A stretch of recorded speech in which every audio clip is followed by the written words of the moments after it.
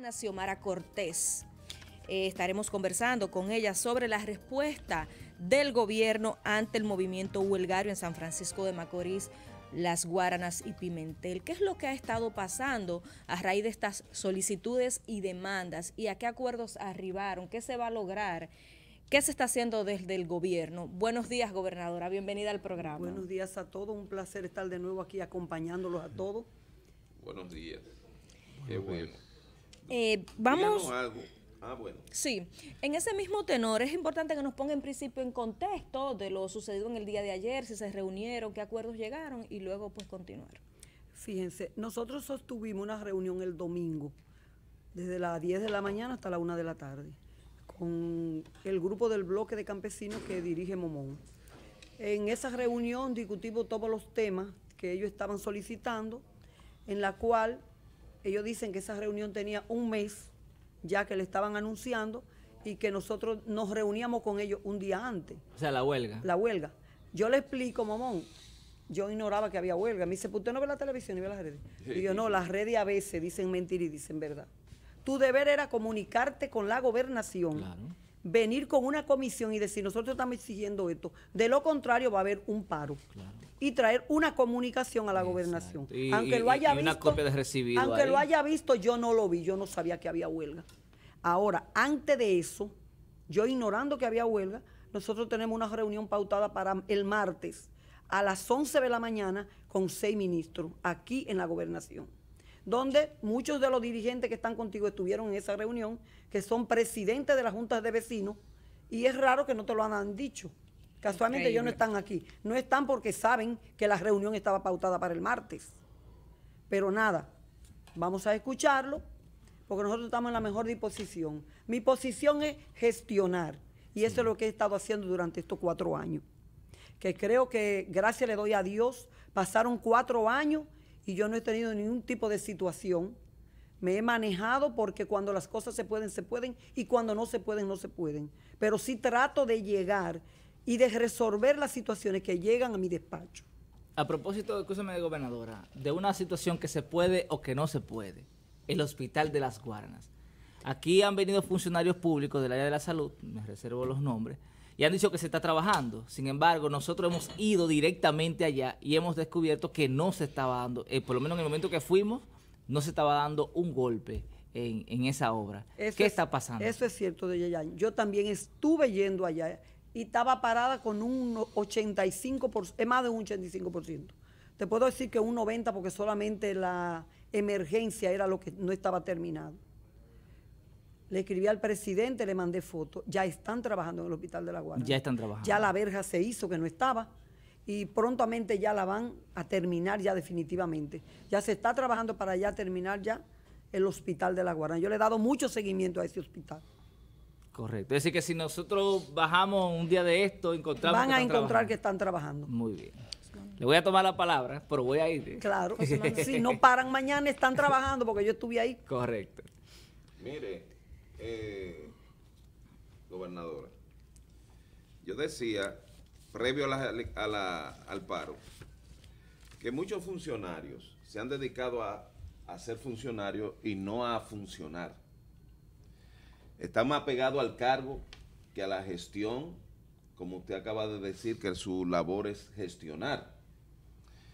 Y muchas veces suben los cristales y se olvidan del entorno y no se dan cuenta y cuando escuchan cualquier planteamiento se sienten afectados por la crítica y no se autoevalúan. Y yo digo que cuando uno tiene mucho tiempo bajo aire y con los cristales arriba, es, probable que uno se, se olvide del, del mundo exterior y no caigan en sí de que realmente hay situaciones que hay que atender. El aspecto también, yo le decía que quizá el contexto en el que estamos, post-electoral y esperando un nuevo mandato, a partir del 16, tuviera que los funcionarios estaban o pendientes de que lo cambien o pendientes de que los promuevan, de lo que lo que lo mantengan. ¿Es el caso de aquí de Macorís? Bueno, te puedo decir que es posible que eso influya, pero esas cosas se están dando antes de eso. Cuando tú hablas de funcionarios que no, quizás no abren la puerta, no tocan, yo soy una que yo no, en la gobernación es raro tú encontrarme, porque yo ando en la calle revisando las obras y las problemáticas que me llegan allá a la gobernación. Porque he dicho que un funcionario que se quede en un escritorio no pasa de ser un funcionario de escritorio. Uno debe salir a la calle, oír a los ciudadanos, ver, tú mismo andando en la calle, tú te topas con problemas que tú dices, pero mira, ¿cómo es esto? esto inmediatamente yo llamo, miren, allí está pasando esta situación. Es decir, que me mantengo más en la calle que en la misma gobernación. Es decir, que usted no solamente se, se cumplirle a lo suyo, sino también que puede llamar al alcalde cuando ve No, no, cosas. claro, Ah, claro que sí, que lo he hecho. Ya. Yo llamé al alcalde para una situación que hace mucho que se estaba dando en la cancha de Santa Ana, al lado, un registro que hay, que cuando hay inundaciones, todas las casas de por ahí quedan inundadas por el barrio azul, donde está la cancha ahí al lado. Pero inmediatamente el alcalde fue y mandó una comisión a que fueran a chequear qué era lo que había que hacer para resolver esa situación. Es decir, esos son los casos que yo me topo en la calle, que me doy cuenta, inmediatamente yo llamo al funcionario y le digo, mira, está pasando esto. Porque nosotros tenemos que saber que si nosotros estamos en el poder es por el pueblo y que debemos responderle al pueblo.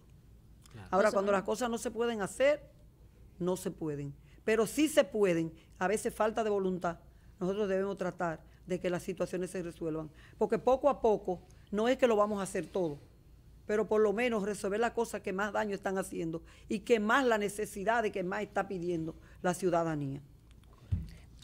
Correcto. Señora gobernadora, eh, entendemos su rol de enlace entre el Poder Ejecutivo y, y la provincia desde su posición, eh, entre otras cosas que también hace la, gobernación provincial. Pero ya fuera de eso, hace unos días eh, ciertos eh, de la gobernación elevaron su protesta por retrasos en los pagos de los servicios que brindan a la gobernación provincial.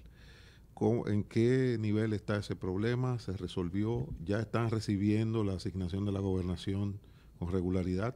Explíquenos, por favor. Fíjate, todavía no le estamos recibiendo con regularidad. La situación que se está dando, que nosotros, Interior y Policía, ahora mismo, nosotros hemos pasado a lo que es burocracia cero. Nosotros tenemos que pasar por cinco instituciones para poder llegar el fondo reponible a la gobernación. Es decir, que toma tiempo. Primero fueron las elecciones y después el proceso en la cual nosotros hemos pasado, que ya gracias a Dios ya se está comenzando a normalizar y ya solamente en este mes de agosto estamos esperando ya el fondo reponible para nosotros con las partes que tenemos que cumplir, continuar ya nosotros cumpliendo.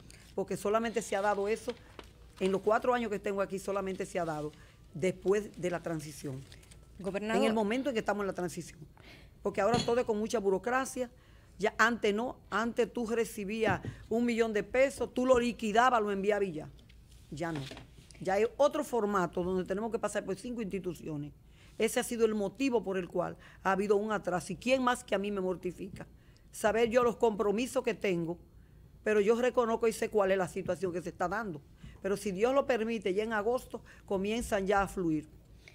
Gobernadora, hay una serie de obras en San Francisco de Macorís que están latentes y que mantienen a este pueblo en vilo, por decirlo de alguna manera.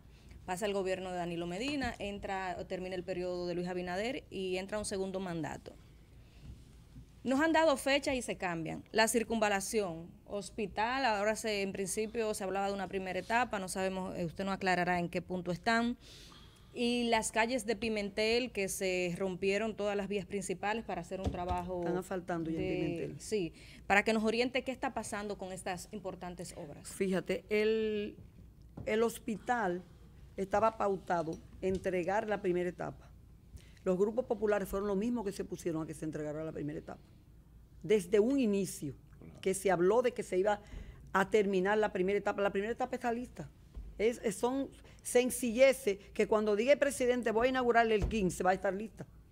Pero se ha tomado en cuenta de que es un gran error, y en eso los grupos populares tenían razón, de que una primera parte no iba a cumplir con todo. Entonces íbamos a tener el hospital viejo y el hospital nuevo funcionando ambos, si no estaba completo. Entonces el hospital viejo no está en condiciones ya que ya hay que reemplazarlo obligatoriamente, porque no alcanza para, para, para la ciudad, mucho menos para una región, que vienen de toda la región, vienen a este hospital. Entonces, lo que vamos a solicitarle al presidente es que se termine completo, pero que por lo menos se agilice el trabajo y que en un año y medio el hospital se entregue completo. Que no tienen fecha, no se ha hablado No, con el no, presidente. todavía no, pero eso es lo que se ha estado hablando de que se termine completo. Lo único que hay que agilizarlo para que se termine por lo menos en un año y medio, que no haya que esperar tanto para inaugurarlo completo. Eso se- se No escucha está conf- complicado eso, no está compli- toda- no, no, no es tan complicado, no, no, Sí, no. No es tan complicado. Si se llega a eso, eh, preferimos tener un hospital completo, aunque duremos un año más En esa para parte, nosotros recibirlo. ¿Usted tiene plazo o dio un término, un tiempo a los grupos populares para cumplimiento? De- del hospital No, no, no, de las reivindicaciones. o de las que reivindicaciones. no lo hablamos al inicio, es para poner en contexto porque... Para terminar ya el la- proceso. La, la entrevista va en torno a la respuesta del gobierno a las demandas del paro. Sí, pero sería importante pero- que ya termine la respuesta. No, no, lo que pasa es que estamos volviendo atrás, producto de que ya pasamos lo que fue eh, las, la huelga. Lo que queremos saber es si ustedes quedaron en un término porque están todas esas obras y esos No, no, términos. No, eso no, No, no, está. no está. No. se llegó a ningún acuerdo, ni Ah, pues ya, término, ni plazo, ni nada. No, no. Eh, No, Circo- no, porque eh, lo que dice Momón Es el en, tema en sus declaraciones es que porque hoy que Hoy hay una hoy hay reunión. una reunión con unos ministros, ¿verdad? Sí. Eh, él, él Ah, decía ya, personas de Santo Domingo y, y compás por prudencia para que se ellos levantaron la huelga porque no parece lógico que vengan en medio de un proceso No, y desde luego felicito no a Momón. entendí. Sí, es, y es Las una actitud correcta de parte Las de horas de huelga que hubieron, ustedes no vieron goma prendida, ni, ni, ni movilizaciones, ni Sí, nada. manejan Hay que felicitarlo porque es un grupo que se maneja de una manera diferente a los Yo lo demás. felicité. Que hace rato. así es que se deben hacer. Claro. Donde tú estás solicitando reivindicaciones. Y tú no ves los Pero de esa manera. noche, el tigueraje. el- el- Mire, No hay eh, que tirar piedra, ni asaltar, ni matar a nadie. La pregunta es entonces, en ese sentido, dice usted que no tienen fecha para lo del no hospital. fecha. La circunvalación. La circunvalación, como yo le dije en el programa anterior, cuando estuve aquí. mío. No, no, no. Lo no. reeditamos. No es lo mismo, Francis, porque ya, no tenemos los puentes y los elevados. Pero tienen Ya. mucho, Mucho eso, con eso es meses meses. Esa columna no han pasado Tú de ahí, gobernadora. tú pasas ahora Antonio Guzmán y están trabajando Pero hace ya con tiempo, esa, esa, pa- columna No, de, no, esa- no, de, no, de no. Guisa, de allá de la Guajana y de esta, Sí, que pero la meses. de, la de salida a Santo Domingo Y perdón, mis dos gatos inici- trabajando. están iniciando ahora. Eso es lo que más tiempo ha tomado porque ya el terreno está listo para faltar. Sí. Totalmente listo, los elevados y los Pero más o menos, ¿qué le dicen, gobernadora? Usted imagino que le preguntará a los ingenieros, porque yo sé que no está en sus manos, usted porque usted es una intermediaria, ¿verdad? El problema es que- Entre la y- provincia y el presidente, pero todos sabemos que es algo de obras públicas, que básicamente quien debería responder ante esa pregunta es el ministro de Obras Públicas. ¿Pero qué le dicen? Bueno, como tú Que dices. usted pueda compartirnos. Como tú dices, el ministro que debe decirlo. Claro, claro. Porque yo he estado dándole seguimiento a la circunvalación y le pregunto siempre, ¿para cuándo? ¿Y qué Sí, le dicen? Esa es mi pregunta. Me dicen un año. Más o menos, un año. Estamos Más o hablando de que para el un año. 2025, Yo le más dije, o dime, menos, esta fecha. yo le dije, dime mejor de más y no de menos. No me diga ocho meses, dime, si me tienes que decir un año, dime un año, año y medio para yo no hablar mentira. Claro, claro. Claro. Para yo decir la verdad. Eh, Entonces, ahora mismo usted dice que se está asfaltando en Pimentel. Sí, en Pimentel se está faltando.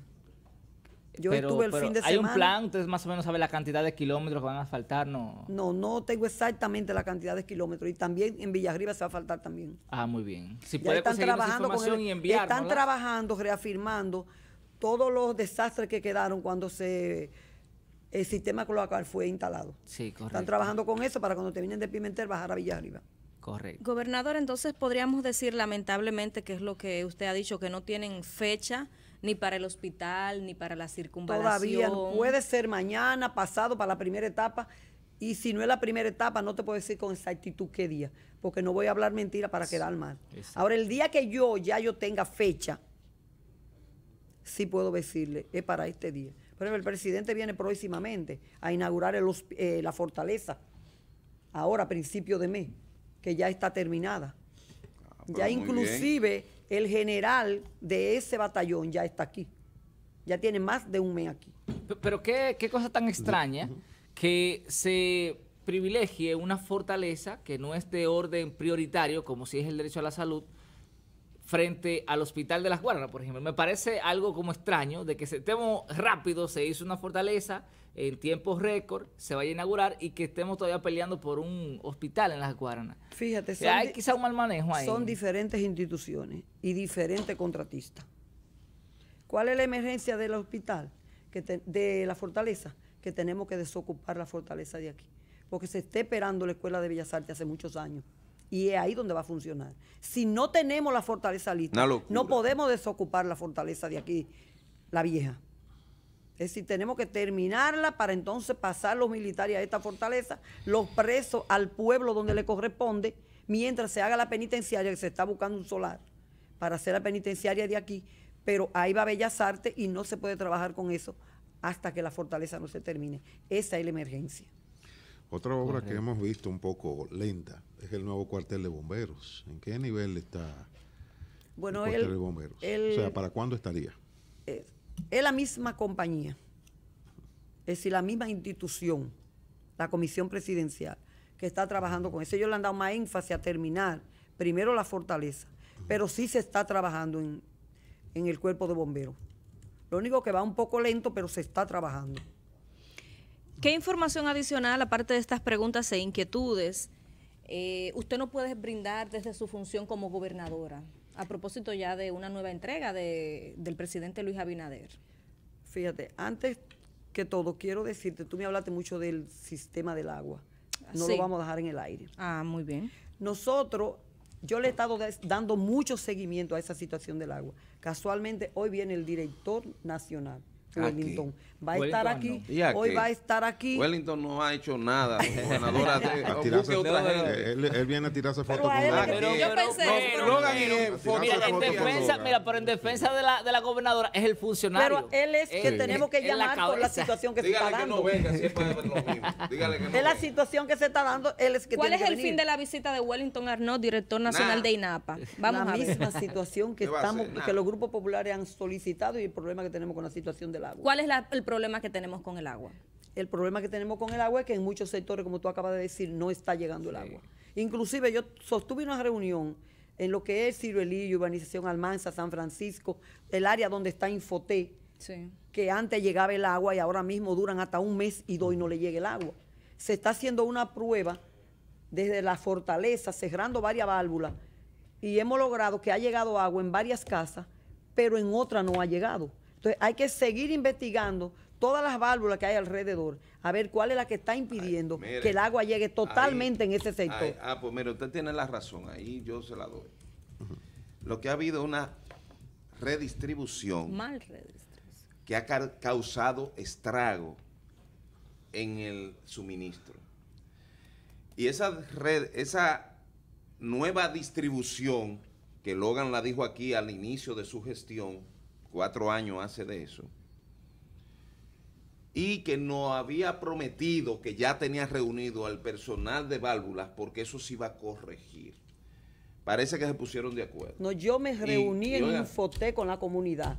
Llamé a Marco y le dije, te doy una semana para que tú me estés buscando dónde está el problema de la situación del agua de este sector. Porque eso no es posible. Ahora, lo que yo estoy seguro, gobernador, y yo quiero que le lleve a Wilton, señora. es que haya, óyeme esto, eh, guarda ese, se lo digo aquí públicamente, no en desmedro de los dueños de camiones, pero la distribución del agua se ha ajustado y se ha acomodado que pareciera que hay un beneficio de las oficinas en los camiones que se venden en este pueblo y la buscan del mismo lugar donde deben de estar distribuidas. Eso no se lo mando a decir con nadie.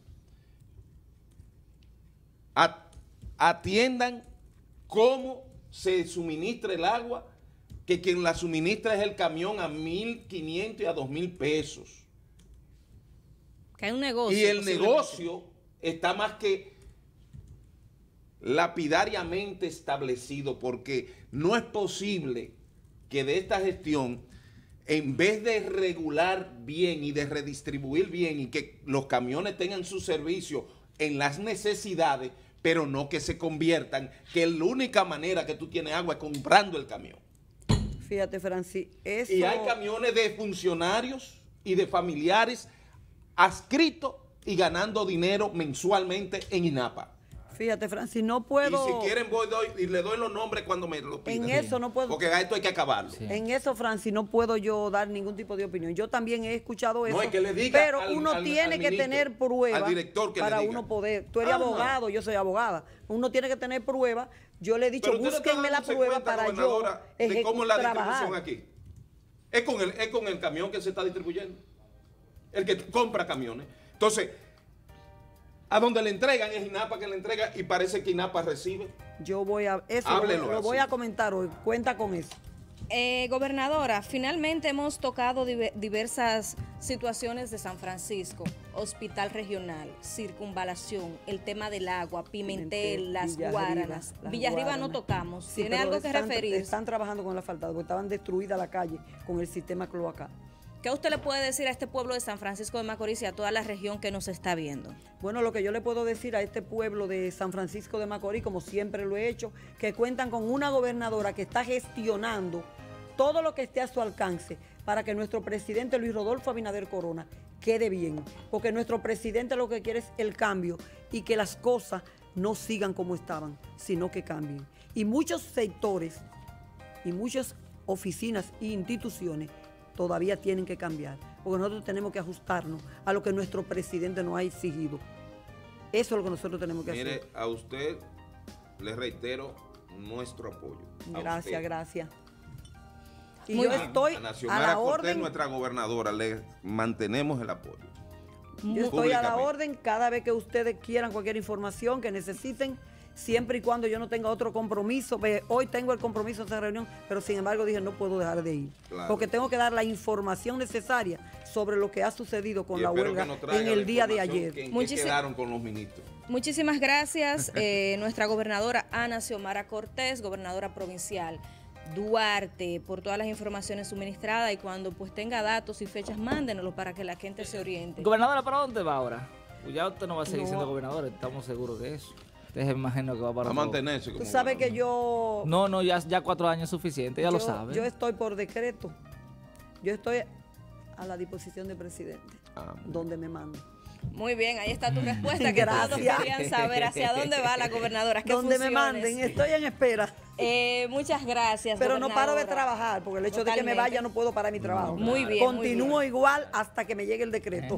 Muchísimas gracias. Estamos a la orden, gracias.